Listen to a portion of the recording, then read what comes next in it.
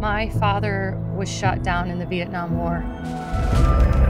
And ever since his remains were identified, I've been planning an expedition to ride the entire length of the Ho Chi Minh Trail to search for the place where his plane went down and to discover the circumstances surrounding his death. Large area search. If you see the trail, let me know. This is a hostile environment. There'd be a very small possibility of any evidence of the actual crash. I have no idea what I'm going to find out there.